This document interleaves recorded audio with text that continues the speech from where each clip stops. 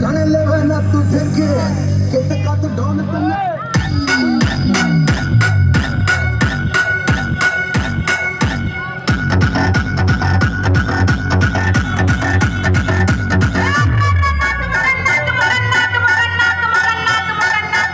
Thank you.